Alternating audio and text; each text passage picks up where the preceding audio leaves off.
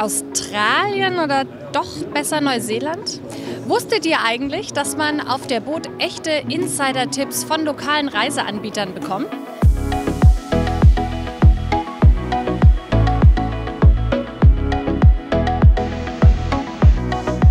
Und das Beste daran ist, hier könnt ihr das Segelboot für euren nächsten Turn nicht nur chartern, sondern auch gleich schon mal Probe liegen.